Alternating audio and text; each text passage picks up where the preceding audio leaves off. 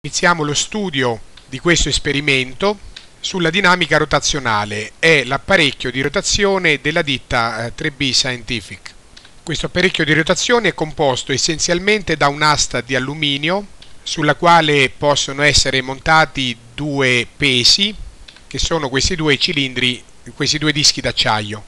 I due dischi d'acciaio possono essere messi a distanze più o meno grandi rispetto all'asse di rotazione centrale cambiando la disposizione di questi dischi d'acciaio eh, cambia il valore del momento di inerzia dell'apparecchio di rotazione. Più i dischi sono larghi, cioè distanti dall'asse di rotazione, maggiore è il momento di inerzia del sistema. L'asta è montata su un perno eh, dove può ruotare con attrito trascurabile. Per far ruotare l'asta si avvolge un filo intorno a questo piccolo cilindro che si chiama mandrino, qua lo vediamo ingrandito, e il filo viene eh, tirato giù da questo sistema di pesi in caduta.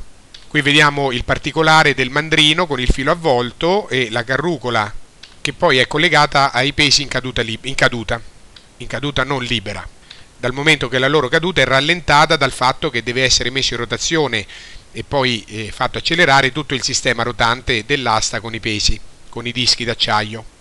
Questa è una schematizzazione dell'apparecchio di rotazione visto dall'alto l'asse di rotazione viene verso di noi, questo è il mandrino, quindi questo cilindretto qua, e la forza F è eh, esercitata tangenzialmente al bordo del mandrino dal filo, eh, dallo spago eh, in tensione. Quindi in pratica questa forza F è la tensione di questo spago. Il mandrino ha un raggio R, in realtà di mandrini ce ne sono due perché si può utilizzare questo più grande che ha il raggio da 9 mm ma volendo anche quello più stretto che è la metà ha il raggio di 4,5 mm. Il raggio del mandrino è essenzialmente il braccio della forza. Infatti utilizzando il mandrino più largo il momento torcente esercitato da questa forza, cioè dal filo, risulta il doppio del momento torcente invece che si ha utilizzando il mandrino stretto. Infatti il momento torcente, in questo caso semplice, è semplicemente il calcolo R per F, cioè il braccio per la forza. Perciò il mandrino con raggio doppio produce un momento torcente doppio. Questo momento torcente mette in rotazione l'apparecchio, quindi l'asta con i due dischi d'acciaio, e lo fa ruotare di modo circolare uniformemente accelerato.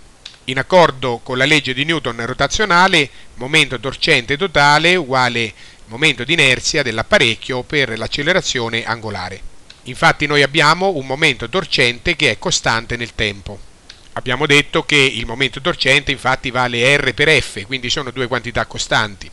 Il raggio del mandrino e la forza con cui tira il filo, la tensione del filo.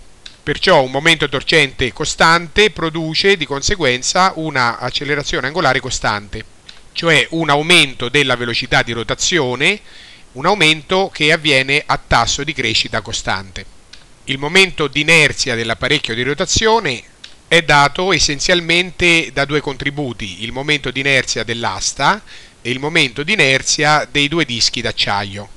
In realtà dovremmo anche considerare eh, il momento di inerzia altri, delle altre parti del sistema rotante e in particolare del mandrino, di questa carrucola che si chiama carrucola di deviazione e del, dei pesetti in caduta, ma si può dimostrare che questi contributi sono tutti trascurabili.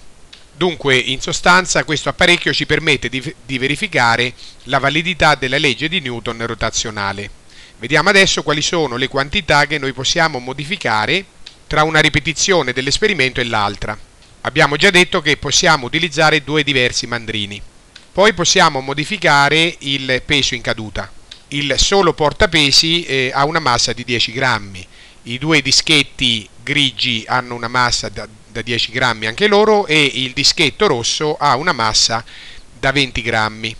Quindi il pesetto in caduta può avere una massa che eh, che può essere 10, 20, 30, 40 o 50 grammi. Sono possibili tutte queste combinazioni. Poi possiamo cambiare la disposizione dei due dischi d'acciaio. Non solo possiamo cambiare la loro posizione, cioè la distanza eh, dall'asse di rotazione, ma abbiamo a disposizione anche dischi differenti. Abbiamo una coppia di dischi d'acciaio da 100 grammi ciascuno, un'altra coppia da 200 grammi, e volendo utilizzare tutti questi dischi, entrambe le coppie, possiamo anche avere eh, dischi da 300 grammi in pratica. Quindi possiamo utilizzare eh, coppie di dischi d'acciaio da 100, 200 e 300 grammi. Per tenere fermi questi dischi d'acciaio sull'asta si utilizzano i fermapesi, che sono fatti di plastica e hanno una massa di 5 grammi la coppia.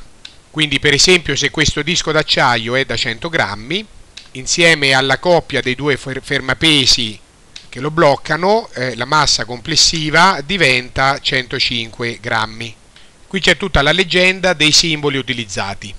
L'accelerazione angolare è indicata anche con omega punto, che vuol dire in pratica la derivata rispetto al tempo della velocità angolare, cioè quanto rapidamente la velocità angolare cambia nel tempo, cioè il tasso di aumento della velocità angolare, perché ricordiamo che il modo dell'apparecchio di rotazione è un modo circolare uniformemente accelerato.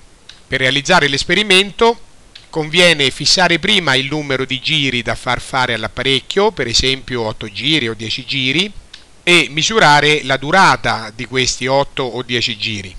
La conoscenza del numero di giri corrisponde alla conoscenza dell'angolo eh, totale che è stato descritto dall'apparecchio di rotazione durante quei secondi. Infatti, per passare dai giri all'angolo, come vedremo meglio dopo, basta ricordare che ogni giro corrisponde a un angolo oh, di 2π greco radianti, cioè un angolo di 360 gradi. Qui c'è scritto quello che abbiamo appena detto, se l'apparecchio compie n giri, l'angolo totale descritto è n volte 2π greco radianti, cioè n volte l'angolo giro. Qui c'è riportata la seconda legge di Newton rotazionale che è quella che dobbiamo verificare con questo esperimento. Il momento torcente totale R vettore F lo calcoliamo semplicemente il suo modulo attraverso la formula braccio per la forza, quindi R, il raggio del mandrino, è il braccio della forza per la forza stessa. La forza che agisce sul mandrino eh, non è direttamente mg, cioè il peso di questi pesetti in caduta, ma è la tensione del filo. Infatti sul filo nascono due coppie di tensione, eh, tensioni uguali e contrarie, questa è la prima coppia T, queste frecce nere, queste frecce gialle è la seconda coppia T'. E siccome il sistema accelera verso il basso, allora mg, il peso di questi pesetti, supera, anche se di poco, il valore della tensione T' così da eh, conferire a questi pesetti un'accelerazione verso il basso. A loro volta le tensioni T e T', queste frecce nere e gialle, sono leggermente diverse perché la carrucola di deviazione anche accelera la sua rotazione e quindi T' è leggermente maggiore di T. Perciò l'analisi rigorosa delle forze in gioco nel sistema ci porta a dire che eh, mg è maggiore di T' e T' a sua volta è maggiore di T. Tuttavia queste differenze sono molto leggere, come è dimostrato dal fatto che l'accelerazione lineare di, questo, di questa massa in caduta è un'accelerazione piccola e quindi con ottima approssimazione possiamo immaginare che questo sistema cada quasi a velocità costante e quindi possiamo approssimare mg con t' e con t come se fossero tutte forze uguali. Ecco perché qua nell'analisi teorica la forza F che è la tensione del filo, la tensione che tira il mandrino, in pratica si può eh, approssimare con mg, cioè con il peso dei pesetti in caduta. Si utilizzeranno poi le formule del movimento o del moto circolare uniformemente accelerato, che sono la formula della velocità angolare finale, finale dopo che eh, l'apparecchio di rotazione ha percorso questi n giri, quindi dopo un certo tempo t. La velocità angolare finale si trova moltiplicando l'accelerazione angolare, omega punto, per il tempo che è trascorso.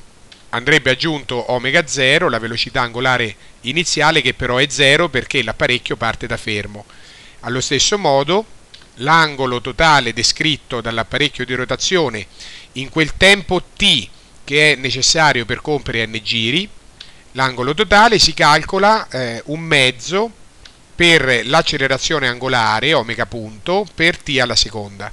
Andrebbe aggiunto più omega 0 t, ma eh, omega 0 non c'è perché l'apparecchio parte da fermo. Infine c'è da eseguire il calcolo del momento di inerzia, abbiamo detto che in teoria sono 5 contributi, cioè il momento di inerzia dell'asta, dei due eh, dischi d'acciaio, del mandrino, della carrucola di deviazione e della, dei pesetti in caduta. Ma in pratica alla fine gli unici due contributi di momento di inerzia importanti, non trascurabili, sono eh, quelli dell'asta e, e il momento di inerzia dei dischi d'acciaio con i fermapesi che li bloccano. Il momento di inerzia dell'asta già conosciamo la formula, un dodicesimo per la massa dell'asta per la sua lunghezza al quadrato. L'asta è lunga eh, 60 cm e la sua massa, misurata con, le, con la bilancia elettronica, è di 47 grammi e mezzo. Poi abbiamo il momento di inerzia dei pesi, cioè dei dischi d'acciaio. Ciascun disco d'acciaio si può considerare come un punto che ruota su una circonferenza a distanza d dall'asse di rotazione. Quindi il suo momento di inerzia di ciascun disco d'acciaio è eh, la massa del disco per la distanza dall'asse di rotazione al quadrato. Questo valore va poi raddoppiato perché i dischi sono due. Facciamo un esempio numerico, immaginiamo dischi da 100 grammi, ricordiamo che la coppia di fermapesi eh, pesa, ha una massa di 5 grammi, quindi noi approssimiamo questa eh, configurazione, quindi il disco con i due fermapesi, come se fosse un punto materiale da 105 grammi che ruota su una circonferenza eh, di raggio pari alla distanza d dal, dall'asse di rotazione. La distanza d va presa dal centro del, del, del disco d'acciaio. Immaginiamo che questa distanza dall'asse al, al, al, centro del disco d'acciaio sia di 20 cm, allora per calcolare il momento di inerzia di questo disco e dei due eh, fermapesi che lo trattengono, devo moltiplicare la, la, massa 105 grammi per la distanza 20 cm al quadrato e poi devo raddoppiare il risultato perché eh, dall'altra parte c'è un altro, un altro, disco con i fermapesi eh, disposto eh, in posizione simmetrica. L'analisi dinamica rigorosa di questo apparecchio di rotazione è piuttosto complicata. In teoria eh, dovremmo dividere tutto l'apparecchio in tre blocchi, di cui il primo e il più importante è l'asta con eh, i dischi d'acciaio, i fermapesi e il mandrino tutto questo sistema eh, ruota sopra a questo perno e quindi dovremmo scrivere eh, la legge di Newton per tutto questo blocco, quindi mandrino, asta, fe, eh, porta, i fermapesi e i due dischi d'acciaio. Poi abbiamo la carrucola che è seco la seconda parte del, dell'apparecchio di rotazione la carrucola di deviazione. Quindi dovremmo scrivere la legge di Newton per la carrucola e poi abbiamo eh, il, la massa, i pesetti in caduta. Quindi dovremmo scrivere la legge di Newton anche per i pesetti in caduta. Però si può dimostrare che il contributo eh, apportato da questi ultimi due sistemi è molto piccolo oh, e quindi è trascurabile. In pratica con la prima equazione eh, si riesce a ottenere dei risultati eh, molto, molto buoni, quindi un'ottima approssimazione.